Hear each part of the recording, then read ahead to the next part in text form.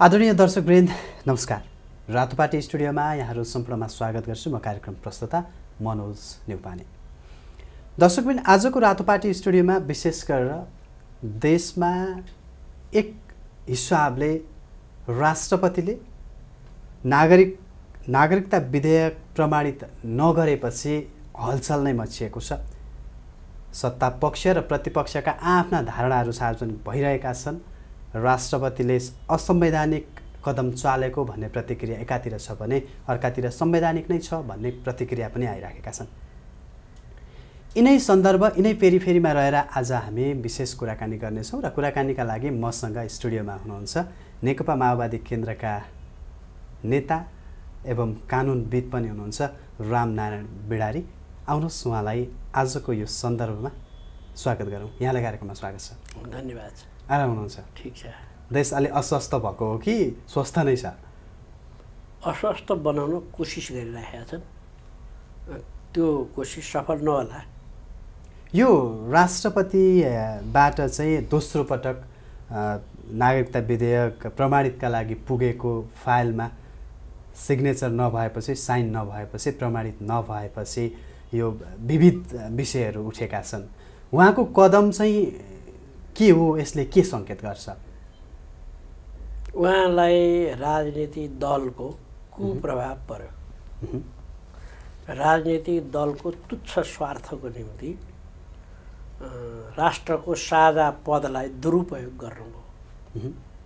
गणतन्त्रको स्याम्बुल अथवा गणतन्त्रको चाहिँ नमुना एउटा जुन हो राष्ट्रपति त्यो विवादग्रस्त अवस्थामा पुग्यो। यो एकैपटक यो पटक मात्र होइन। यसभन्दा अगाडि पनि विवादग्रस्त हुनु हो। त्यसो भएको हुनाले राष्ट्रपति बनाउने भन्ने कुरा चाहिँ अलिक शोचनीय हुँदो रहेछ। अलिक विचारणीय हुनु रहे हुनुपर्दो रहेछ। राष्ट्रपति एक प्रकारको अहिलेको राष्ट्रपति राजतन्त्र पिपासु हुनुभयो। त्यसो भएको हुनाले उहाँले यो विधेयक प्रमाणित गरिदिनु भएन। यो विधेयकका पक्ष र विपक्षमा छ संसदमा पनि मत मतान्तर भएकै हो होइन? पछि चाहिँ दोस्रो पटक पनि यसलाई चाहिँ मत मतान्तर गरेरै अगाडि बढाइएको हो। यस सन्दर्भमा हेर्दाखेरि चाहिँ यसले जिस्टमा भन्दाखेरि यो सङ्केत नागरिकका पक्षमा हुन्छ कि हुँदैन? नागरिक चाहिँ के हुन्छ भने कसैको न कसैको कुरा विश्वास गर्छन्। हाम्रो चलन त्यस्तो बनाइयो। जान्यता तन्त्र होइन मान्यता तन्त्र चलाइयो। मैले अहिले बोलिराखेका छु मेरो कुरालाई विश्वास गर्ने केही मान्छे छन्। त्यस्तै ओलीजीले बोल्नुहुन्छ उहाँको भोलिलाई विश्वास गर्ने केही मान्छे हुन्छन्। आफूले अध्ययन गर्दैनन् राष्ट्रपतिले यो प्रमाणित नगरिदिएपछि राष्ट्रपतिले राम्रै गरेको होला भनेर विश्वास गर्ने पनि केही मान्छे हुन्छन्। राष्ट्रपतिले गलत गर्दैनन् है भनेरै हामीले संविधानको धारा एक सय तेह्रमा विधेयक राष्ट्रपतिले प्रमाणित गर्नु गर्नेछ। विधेयक राष्ट्रपतिले प्रमाणित गर्नेछ यो बाध्यात्मक कुरा लेखेका थियो तर हामीले संविधान बनाउँदा के विचार गरेनौँ भने के कल्पना गरेनौँ भने यस्ता रक्त यस्तो राजतन्त्र पिपासु रक्त पिपासु पनि राष्ट्रपति हुन्छन् भन्ने कुरा अन्दाज भएन। राष्ट्रपति त एकदम गम्भीर बडो सादा बडो सौम्य बडो भद्र बडो चाहिँ नि दलबाट मुक्त मान्छे हुन्छन् भन्ने अन्दाज हो। त्यसो भएर के लेखिएन भने राष्ट्रपतिले प्रमाणीकरण गर्नेछ भनेपछि यदि नगरेमा त्यस्तो राष्ट्रपतिलाई झ्याल खान हालिनेछ भनेर लेखिएन। त्यो अहिले त्यो पनि लेख्न पर्ने भन्ने जस्तो राष्ट्रपति यस्तो राष्ट्रपति हुन्छ भन्ने कल्पनै हुँदैन राष्ट्रपति जस्तो पदले संविधान जस्तो विषयमा चाहिँ गडबड गर्दैनन्।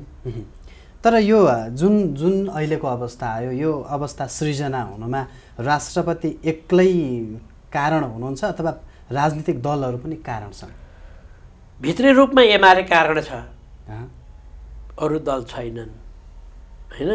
बाहिरी रूपमा चाहिँ अरूलाई पनि देखाइदिए भइगयो। मलाई यसो भने हुनाले मैले यसो गरिदिएँ। इगो भन्ने आइरहेछ नि। अहन्ता।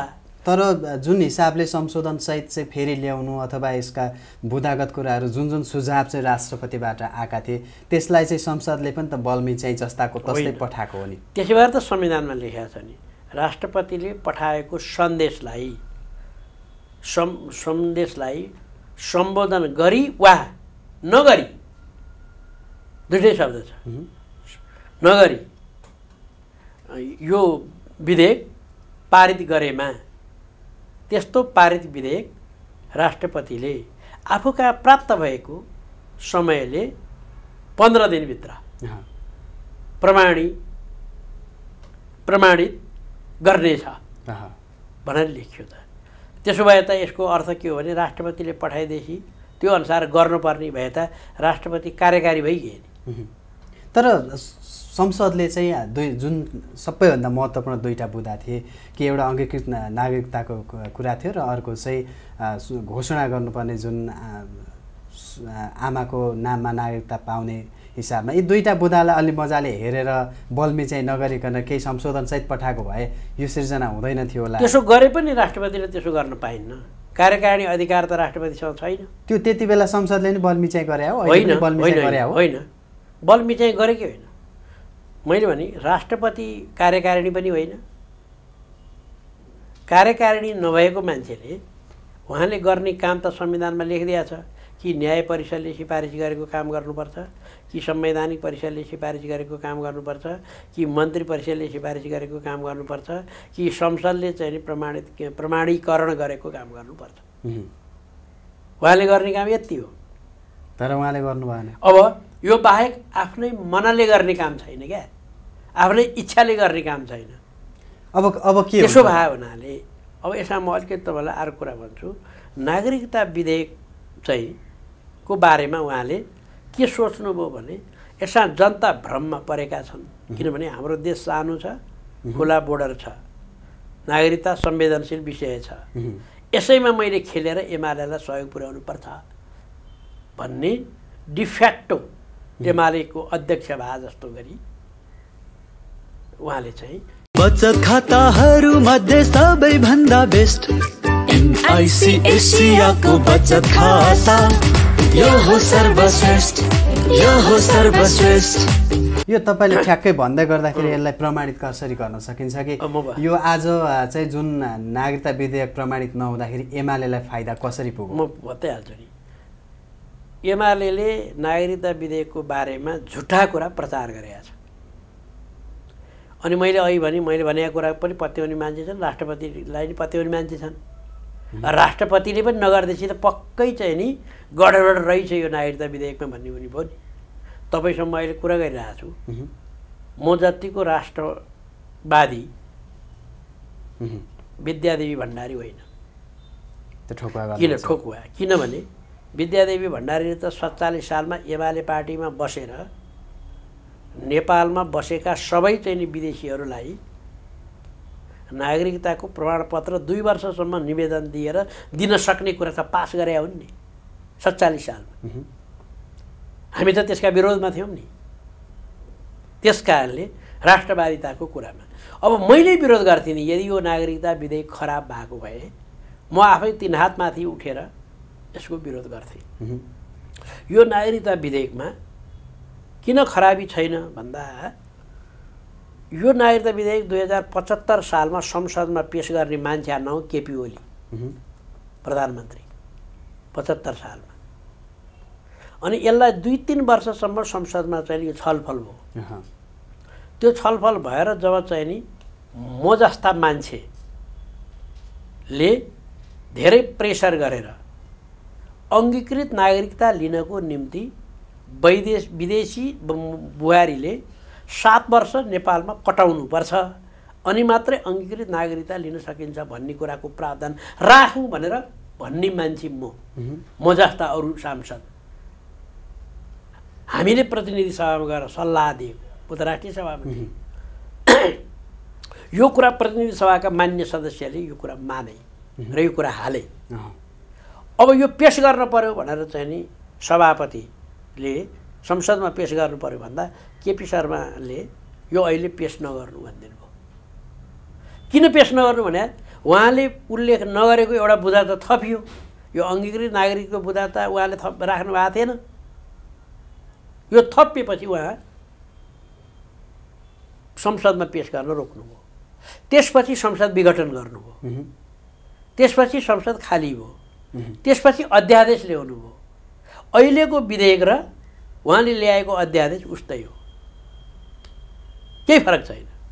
त्यो अध्यादेशलाई यो राष्ट्रपतिले आँखा चिम्लेर प्रमाणित गर्नुभयो अथवा घोषणा गर्नुभयो। ओलीले ल्याएको त्यही चिज राष्ट्रपतिले विधेयक अध्यादेश जारी गर्नुभयो। शेरबाजीले लगेको त्यही विधेयक उहुँ, उहाँले यत्रो लफडा गर्नुभयो। कुरा एउटै छ। तपाईँले अहिले पनि दाजेर हेर्नु। अध्यादेश। पनि हेर्नुहोस् ओलीले पेस गरेको अध्यादेश। र तर जनताको जनताको कन्सर्न हो। चाहिँ सबैभन्दा अब जनताको कन्सर्स भने जनतालाई त थाहा छैन नि बिचरा। जनतालाई त तपाईँले झुक्याइदिनुहुन्छ मैले झुक्याइदिन्छु। ओलीले फटाइ बठाइ गरेर झुक्याइदिन्छन् बाह्र उनको काम के?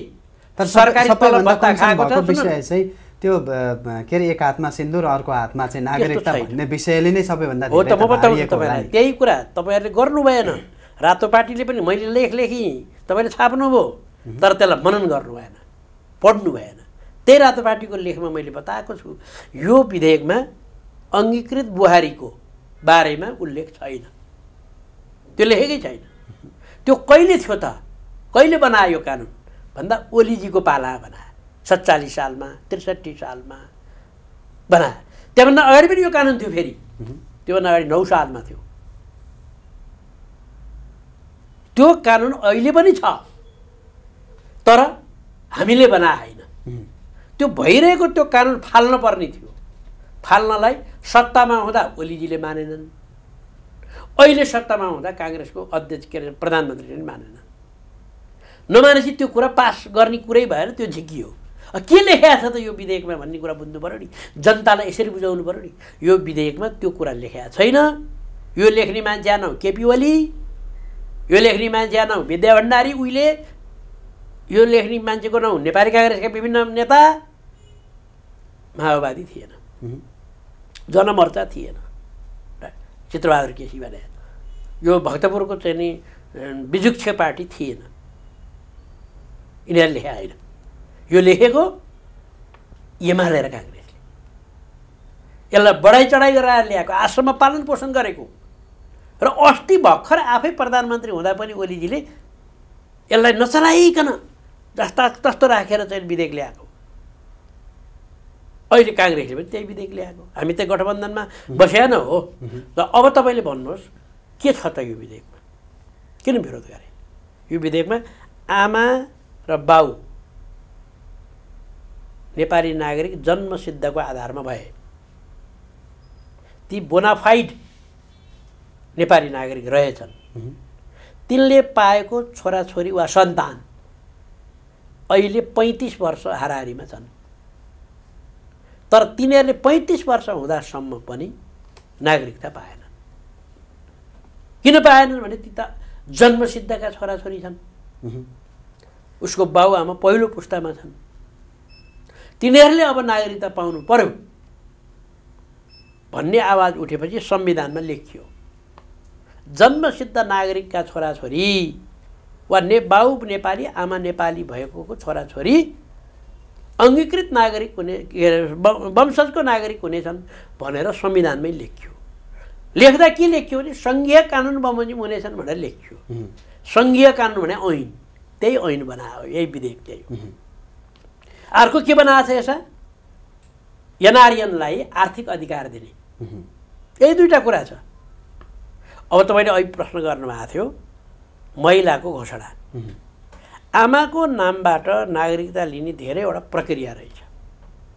एउटा प्रक्रिया के रहेछ भने आमाले यो केटाको यो छोरीको यो नानीको बाउ फलानु हो भनेर तोकेर नागरिकता लिने।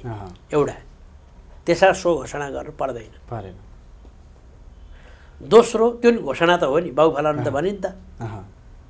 दोस्रो नारीले विभिन्न कारणले बाउ बताउन नसक्ने अवस्था हुँदो रहेछ। बच्चा जन्मे। बाउ बताउन सकिन। भने त्यसले वंशजको नागरिकता पाउँछ। आमा नेपाली छ भने। अनि त्यो बेला आमाले भन्नु परेन त यसको बाउ म बताउन सक्दिनँ भन्नु परेन। कारण खोल्लिन् किन? कसैलाई बाउ बताइदिउँ? उसलाई थाहा छैन। त्यस कारणले त्यसमा के उपाय छ त उदाहरणको निम्ति एउटी महिला बलात्कृत भइन्। प्रेग्नेन्ट भयो गर्भवती भइन् अथवा सामूहिक बलात्कृत भइन् बच्चा जन्मियो। बच्चा फाल्न उनले चाहिन त्यो जन्मिएको बच्चाको बाउ कसलाई भनिदिने त उनले? अनि उनले घोषणा गरिदिनु पर्यो। यो बच्चाको बाउ चाहिँ म अहिले भन्दिनँ भन्न सक्दिनँ। त्यो बच्चा के हुन्छ त अब? स्टेटलेस राज्यविहीन हुन्छ। अब अब नि हो त्यही कुरा त्यो कुरा अहिले हामीले बनाएन। तपाईँले यो संविधानमा कन्टेन्ट कन्टेन्टमा भन्दा पनि अब अहिलेको आजको ताजा इस्यु चाहिँ भनेको राष्ट्रपतिले प्रमाणित नगर्नु हो होइन? अब राष्ट्रपतिले प्रमाणित नगर्नु भने त मैले भने यो बेइमानी हो। बदमासी हो। यो राजतन्त्र पिपासुको स्वभाव यसमा एउटा एउटा दुई मत भएको छ कि एक पक्षले अथवा चाहिँ नेकपा एमाले यसको बचाउ गर्दै आएको छ। सत्ता पक्ष र गठबन्धनले चाहिँ यसको मेरो विचारमा। असंवैधानिक भन्दै आएको छ र जनता चाहिँ भ्रमित भएका छन् क्या अहिले आएर फेरि। यसलाई चाहिँ कसरी लिने? मैले चाहिँ मेरो विचारमा एमाले भित्र पनि केपी गोली उ केपी ओली गुट बाहेक अरूले पनि भनिरहेछन् जस्तो लाग्दैन। बरु नबोल्या होलान्। पार्टीमा बस्या भएर। तपाईँले यो विषयमा सुभाष नेमाङलाई सोध्न जानुहोस् न। तपाईँले यो विषयमा तर ओली गोठका मान्छेलाई सोधेर अत्तनु पत्रिकालाई सोधेर त काम छैन होइन? अब मैले तपाईँलाई भने कसैले पनि प्रमाणित गरेको नगरेको ठिक छ भन्दैन। कन्टेन्ट मिलेन भन्लान् हामीलाई मन परेको छैन भन्लान्।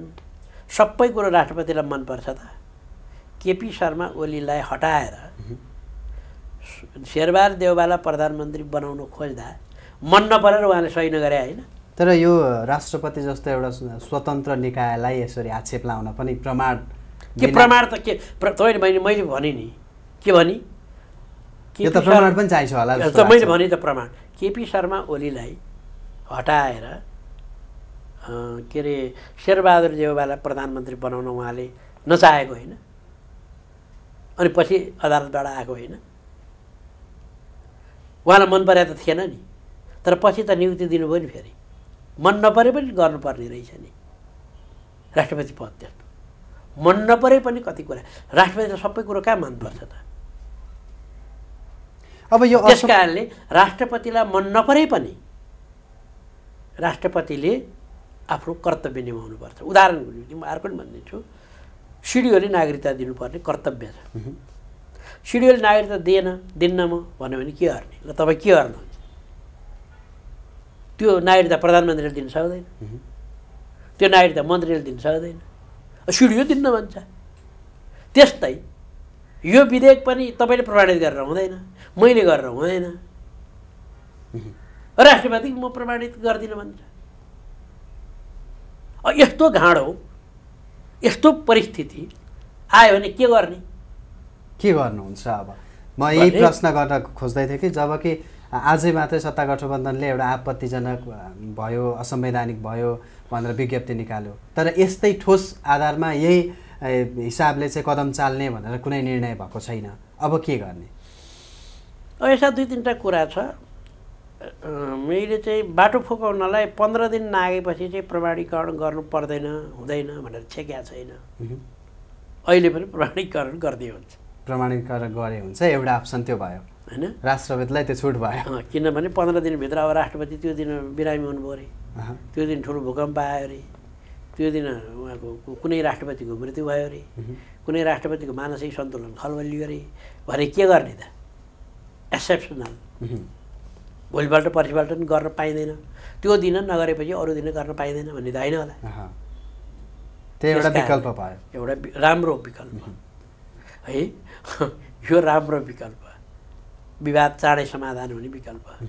दोस्रो विकल्प अदालतमा गएर राष्ट्रपतिले यसरी प्रमाणीकरण गर्नुपर्ने उहाँको कर्तव्य हो। त्यो कर्तव्य राष्ट्रपतिले पालना गर्नु भएन। त्यस कारण राष्ट्रपतिलाई चाहिँ त्यो कर्तव्य पालना गर्नु भन्ने परमादेश जारी गरी पाऊँ भनेर सर्वोच्च आएर जाने हो। त्यसो जानलाई एउटा तर्क आउँछ हेर्नुहोस् राष्ट्रपतिलाई मुद्दा लाग्दैन। सामान्यतया सामान्यतया राष्ट्रपतिलाई मुद्दा लाग्दैन। किनभने राष्ट्रपतिलाई विभिन्न अपराधको उन्मुक्ति हुन्छ। राष्ट्रपति भइरहेकै बेला मान्छे नै मारे पनि उन्मुक्ति प्राप्त हुन्छ भनेर विश्वका कयौँ संविधानमा लेखेका छ जसमध्ये भारतमा पनि लेखेका छ हाम्रो देशको संविधानमा चाहिँ हामीले बनाउँदा यस्ता यस्ता मान्छे राष्ट्रपति आउँछन्। के हो? के हो? यो उन्मुक्ति चाहिँ नदिउँ भनेर हामीले राष्ट्रपतिलाई उन्मुक्ति दिएको छैन संविधानमा। संविधानमा उन्मुक्ति छैन।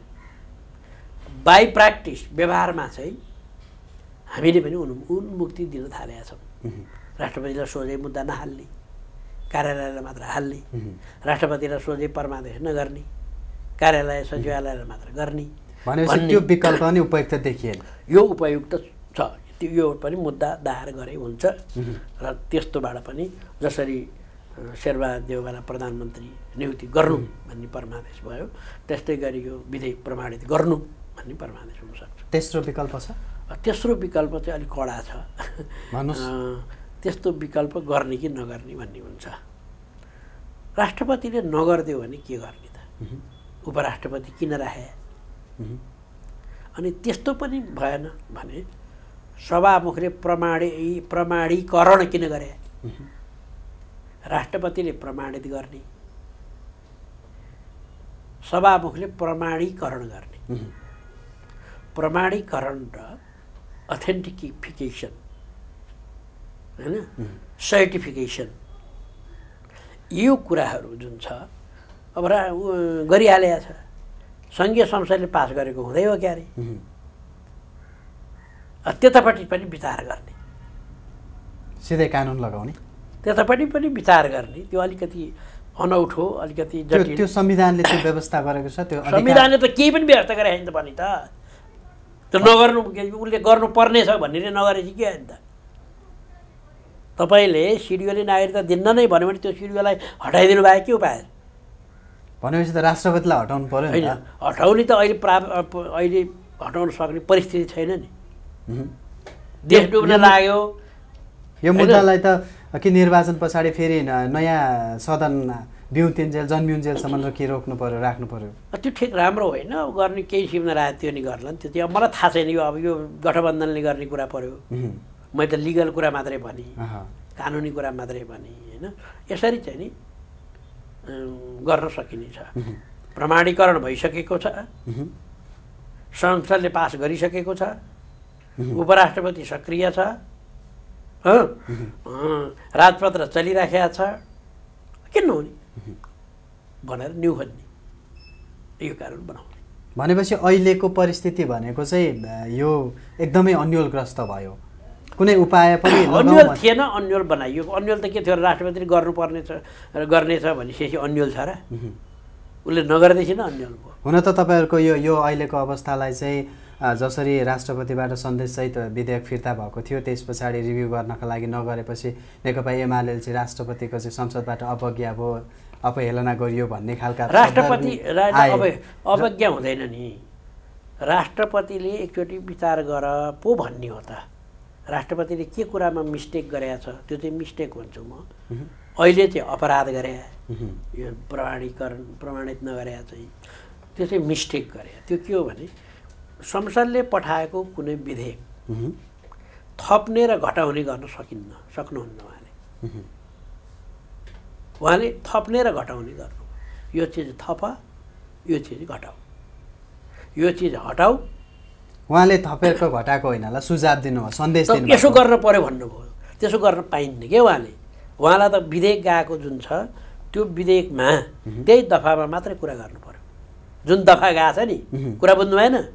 त्यहाँ अङ्गीकृत बुहारीको दफा गएको छैन। त्यस कारण त्यो कुरा लेख्नु भएन। अङ्गीकृत विदेशी बुहारीको दफा छैन त्यहाँ। नभए दफा कुरा गर्ने। नभएको कुरो त के के छैन के के छैन नि? जम्मै ऐनमा त्यसै गरे भइगयो नि। जस्तो तपाईँले एउटा उद्योग ऐन बनाएर लानुभयो। होइन? भ्याट छुट हुनेछ भन्यो कुनै अध्यायलाई।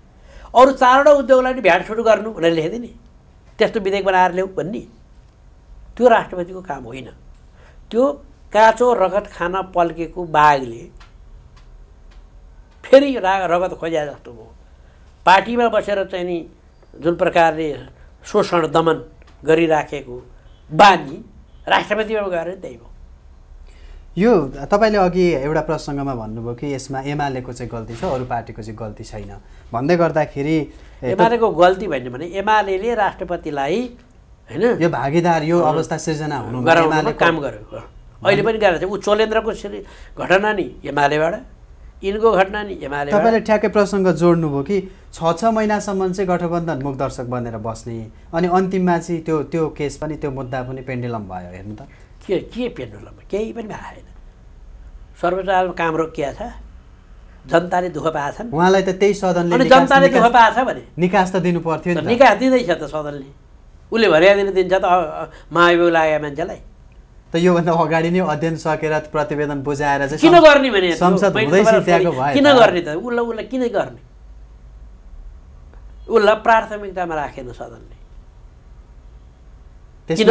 किन प्राथमिकता नराखेन ओलीको कारणले? एउटा ओलीले नौ महिनासम्म सदन चल्न दिएनन् र काम पेन्डिङ भएको र थुप डङ्गुर थुप्रेको थियो त्यो काम फर्चौट गर्नु थियो। दोस्रो ओलीले भोट हाल्दिनँ भनेर बसेको थियो उसले भोट नहालिकन यो महाभियोग पारित हुँदैन थियो।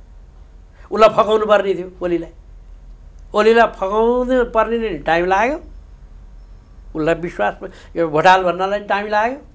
ओलीले नौ महिनासम्म सदन स्थगित प- रोकेर लाठा लिएर चाहिँ या सदन चलेको कुड्छु भनेर बसेको हुनाले त्यो चाहिँ सदन चलेन नौ महिनासम्म थुप्रेर बसेको कानुन थियो। अब त्यो कुरा हेर्ने कि चोलेन्द्रको कुरा चाहिँ पट्टि लाग्यो। तपाईँको तर्कलाई लिने हो भने त राज्यका कुनै पनि संयन्त्रहरू जिम्मेवारीमा रहेर प्रक्रियामा रहेर योजनामा रहेर काम गरिराखेका छैनन् कि क्या? हो त। यो कारण चाहिँ को को हो? तपाईँ तपाईँले एनालाइसिस गर्नु पऱ्यो कारण खोज्नु पऱ्यो जस्तो कारण खोज्दाखेरि संसदले ढिलाइ किन गर्यो भन्दा मैले भने दुई कारण बताएँ। एउटा ओलीले भोट दिन्न भनेर। त्यहाँ त प्रत्यक्ष इगो देखियो। होइन भोट दिन्न भनेर भने। उसले भोट दिनु भए त भोलिपल्टै चाहिँ नि कारवाही सुरु गरेर एक महिनाभित्र टुङ्ग्याइदिए भइहाल्थ्यो नि। त्यस कारणले फैसला गर्न ढिलो भयो। कारवाही गर्न ढिलो भयो। अर्को यसलाई प्राथमिकतामा राखेन क्या संसदले? किन प्राथमिकतामा राखेन भने जनताको निम्ति बनाउनु पर्ने कानुनहरू जनताको निम्ति गर्नुपर्ने थुप्रो काम छ सदनमा। थुप्रेर बसेको नौ महिनासम्म सदन चल्न नदिएर। त्यो काम छोडेर कुनै कसको दिवालीमा जाने? भने जस्तो गरी चोलेन्द्रको कुरा चाहिँ भनेर गरिरहनु बस्छ त संसद। उसले आफ्नो काम फर्चौट गरेर अनि चोलेन्द्रको काम सुरु गर्यो। चोलेन्द्र आफूलाई पनि के थियो भने चाँडै नहोस् भन्ने थियो। महाभियोग पास हो भने चाहिँ मेरो बिजोग भइगयो नि। तर विधि। विधि विधान र संविधानमा चल्नुपर्ने के विधान मिचियो त भने विधान मिचिया देखाउनु न तर बढी चाहिँ व्यक्तिगत इगोमा भयो। विधान मिचिएको त छैन नि तपाईँलाई थाहा रहन्छ। विधान मिचिएको छैन। विधान त मिचिएन भन्दै गर्दाखेरि हिजो चोलेन्द्रलाई चाहिँ घरमै रोकियो। त्यो त एउटा त त्यो संविधान कसले रोकिया? त्यस त्यो पनि फेरि तपाईँको गलत कुरा हो। चोलेन्द्रले जे भन्यो त्यो पत्याउने। ओलीले जे भन्यो त्यो अनि। हामीले नदेखे हामीले त्यो देखेको चाहिँ उहाँको गेटमा चाहिँ पुलिस थियो। प्रहरीले चाहिँ बार लागेर चाहिँ पुलिस थियो। तह तह बसेर त छेकिएको पुलिस थियो होइन त भने? त अहिले गएर हेर्नुहोस् त उसको यहाँ पुलिस छै छैन। अनि त्योभन्दा तिन दिन अगाडि गएर हेरे पनि पुलिस थियो। ऊ त देशको चाहिँ नि सुरक्षा गर्नुपर्ने मान्छे थियो। मुद्दा घुस खाएर मुद्दा बाह्र तारिक फैसला गरिदिएको छ। कसले कुन बेला आएर छप्काइदिने हो ठेगान छैन। अनि सुरक्षा गरेन भनेर तपाईँहरूले भोलि उफ्रिनुहुन्छ। एउटा ड्याममा गएर हानिदियो भने। उसको सुरक्षा गरे ऊ चाहिँ नि सम्मानित भएर ऊ चाहिँ प्रधान न्यायाधीशको चाहिँ नि बडो इमा के अरे इज्जतदार भएर गरे होइन। त्यो जेलमा बसेर नि सुरक्षा गर्नुपर्छ नि। त्यस्तै गरे। अब उसले चाहिँ नि तरकारी किन्न जान्छु भने छोडिदिन्थ्यो। ससुराली जान्छु भने छोडिदिन्थ्यो। मावरी घर जान्छु भने छोडिदिन्थ्यो। उसले त के भन्छ सर्वोच्च गएर बस्छु म भन्छ। निलम्बित मान्छे सर्वोच्च गएर कहाँ बस्ने? खबरदार सर्वोच्च जान पाइँदैन किन त निलम्बित छ यसरी बुझ्नु पर्ने मान्छे अब उसले ओलीले जे भन्थे त्यही कुरो चाहिँ हो हो भनिदिएर हिँड्ने कहाँ लाग्यो न न- नजरबन्दा नजरबन्दा लाउन त सिडिएल निर्णय गर्नुपर्छ सिडिओले फलानुलाई नजरबन्दमा राख्ने भनेर निर्णय गर्नुपर्छ तर त्यो वातावरणले त्यस्तो देखायो सेक्युरिटी उसलाई दिँदा तपाईँलाई त्यस्तो लाग्यो कि उनीहरूले त्यस्तो प्रचार गर्दै तपाईँले हेर्दा नि निष्कर्षमा भन्दाखेरि चाहिँ अहिलेको अवस्थामा चाहिँ गठबन्धनको सरकार चाहिँ सही हिसाबले अघि बढिराखेको छ। काहीँ साह्रै? राम्रो चाहिँ छैन। किनभने सबै नराम्रो भएपछि यो मात्रै राम्रो कसरी हुनु? होइन? सबै अङ्ग नराम्रो अरू पार्टी नराम्रो यो चाहिँ राम्रो उल्कायो भने साह्रै राम्रो होइन। तर धा धेरै विरोध गर्नुपर्ने पनि छैन। किनभने यसले यसको मुख्य काम विकास निर्माण के पनि होइन? निर्वाचन। यसको मुख्य काम संविधानलाई ट्र्याकमा लिएर गएर निर्वाचन सम्पन्न गरिदिने। तर अलिक बढी त्यो ट्र्याकभन्दा विमुख भएको विमुख त यस्तै बनाइदिन्छ नि यो राष्ट्रपतिले आज गरिदिन् नि। नत्र त ऊ त चुनाव गर्न तयार छ त।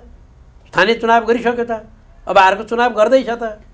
यो राष्ट्रपतिको कदम विरुद्ध गठबन्धनमा सामेल दलहरूको विचार भाव मिल्या छैन हो। किनभने आजै पनि चाहिँ राष्ट्रिय जनमोर्चाले पनि विदेशीलाई वंशजका नागरिकता दिन सकिँदैन भनेर विज्ञप्ति मैले- राखेन सुन्नु न मैले यही कुरा भने क्या मान्छे इमान्दार हुनु पर्यो। मैले अघि भनिनँ अब चित्रबहादुर केसीले बोलिदिएको कुरो पत्याउने मान्छे नि अलिअलि त छन्। छन् नि। त्यो विदेशीलाई अङ्गीकृत नागरिक दिन व्यवस्था गर्न सकिन्न भनेर उहाँले जुन बोल्नुभयो नि त्यो विधेयकमा कहाँ छ त? देखाइदिनु पऱ्यो नि। सब्सिडी त त्यसरी गर्नु पऱ्यो नि। यो विधेयकमा छैन। नभएको कुरो प्रचार गर्दै उनीहरूले राजनीतिलाई फोरी खेल बनाएका। यो यो यो मुद्दालाई अलि बढी राजनीतिकरण गर्दाखेरि यो नागरिकता विधेयक राष्ट्रहित विपरीत छैन। त्यो तपाईँ ठोकुवा हो। गर्नुहुन्छ भएको भए मै विरोध गर्थेँ तिनीहरूको भन्दा कम के थिएँ म? सधैँ विरोध गरिरह मैले विरोध गर्छु। सत्तालिस सालको चाहिँ नि नागरिकता सम्बन्धी दुई हजार बिस सालको नागरिकता सम्बन्धी दुई हजार नौ सालको नागरिकता सम्बन्धी दुई हजार त्रिसठी सालको नागरिकता सम्बन्धीको म विरोध गर्छु। यो त्यस्तो छैन क्या अब यो आवश्यक भए चाहिँ नेकपा एमाले अथवा प्रतिपक्षी दलले चाहिँ के भनिरहेको छ भने अध्यादेश ल्याएर कसैलाई वितरण नागरिकता दिनु नै छ भने सदनबाट यहाँबाट प्रमाणित भएन भने अध्यादेश ल्याए भइगयो नि भन्ने खालको तर्क। राम्रो प्र्याक्टिस होइन यही अध्यादेश यही अध्यादेश उसले ओलीले ल्याएका हुन्। अदालतले चाहिँ यसरी नागरिकता विधेयक अध्यादेशमा नल्याउ न विधेयक लैजाऊ भनिदियो। एउटा दोस्रो अध्यादेश पनि त जारी गर्ने त उनी महारानी हो क्या अरे त?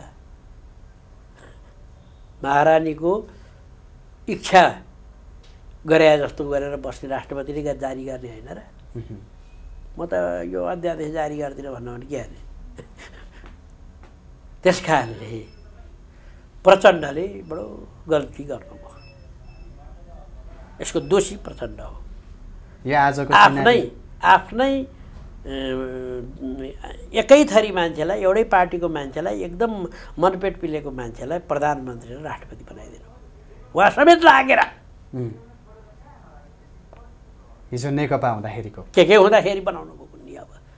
गएर ती भात खाएर ती उमेरको नाचेर ती नै कुरा गरेर अब भन्नै नहुने गरी। चाहिँ के अरे मन एउटै मान्छेलाई मनपेटै मिल्ने मान्छेलाई। प्रधानमन्त्री र राष्ट्रपति बनाइदिनु भयो। त्यहाँदेखि सबै बिग्रियो। अहिलेको कारण त्यही त हो।